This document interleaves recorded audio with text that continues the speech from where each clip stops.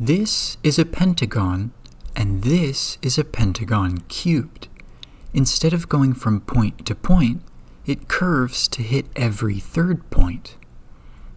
A pentagon to the fourth power hits every fourth point, and a pentagon to the fifth hits every fifth point, which is just the same every time.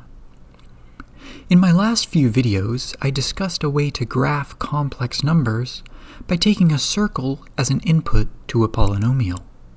But I wanted to see other shapes, not just circles, so I built this web page to make all kinds of complex graphs. Here is a hexagon.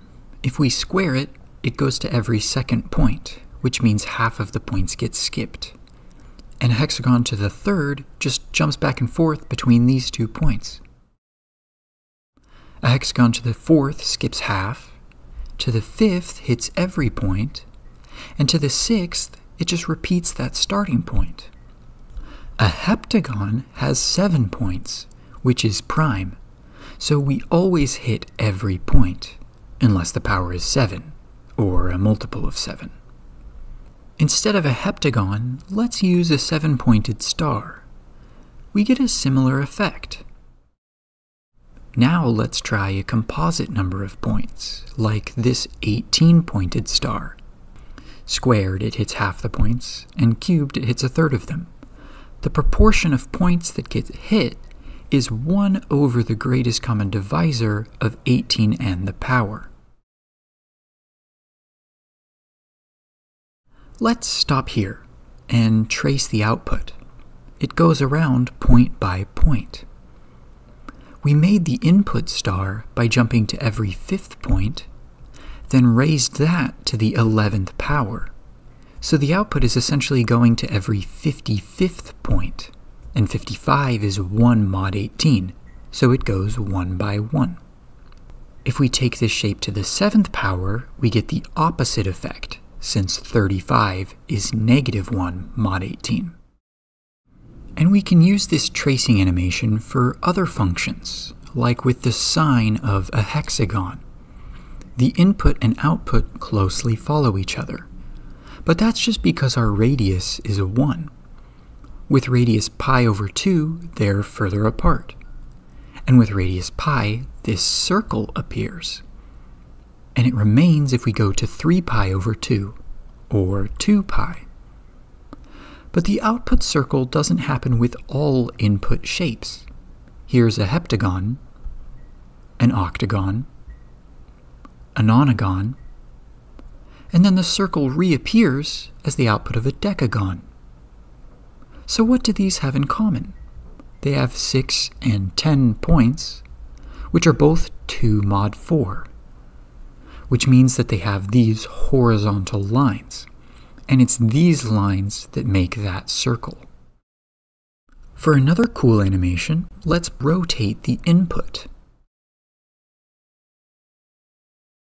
Here's a pentagon, and a square, which is my favorite of these,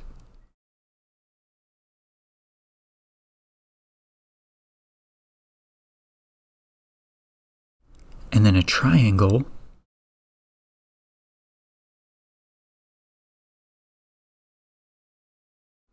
And finally, a digon.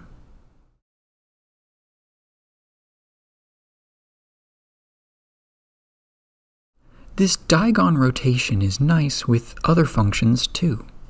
Let's look at the 21st cyclotomic polynomial. The output spins its arms. And they spin even faster with the 23rd cyclotomic. I won't feed a fed horse by explaining where the cyclotomics come from, I've done that in previous videos, but I will say they relate to the corresponding shape, such as the fifth cyclotomic and a pentagon, or the sixth cyclotomic and a hexagon, or the thirteenth with a thirteen gon. And the 13th cyclotomic also looks cool with a 14 gon, or a 25 gon, or a 26 gon. Now, let's keep the 26 gon as an input and switch to the 26th cyclotomic, and then to the 26th inverse cyclotomic. This one is great. So let's keep the function and move to a 27 gon, then a 28 gon, and a 29 gon. We could also step back down to a 13 gon. Very nice. But that's enough for cyclotomics. Let's input this 13 gon to a Fibonacci polynomial. And this is the 10th Fibonacci polynomial, so maybe we should also input a decagon. The Fibonacci polynomials are similar to the Fibonacci numbers. We start with 0, then 1, and then add them together to get the next one, except we multiply the latter by x. So the second Fibonacci polynomial is just x, then the third is x squared plus 1, and then x cubed plus 2x. And because of the setup, if we take 1 as an input to the Fibonacci polynomials, we get the Fibonacci numbers. But if we input negative 1, they jump back and forth from negative to positive. To visualize this, we'll take a circle as an input to the second Fibonacci polynomial, then go to the third, and continue. The two points are the outputs of 1 and negative 1. 1 grows larger and larger, while negative 1 jumps back and forth, and this causes a repeating output for the rest of the graph. This is the last graph I have to show, but you can make some yourself by going to the web page linked below, which I used to make most of this video.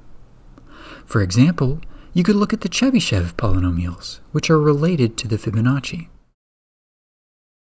I've already covered most of the features here, but there's also an option for the color scheme. Here is winter and autumn.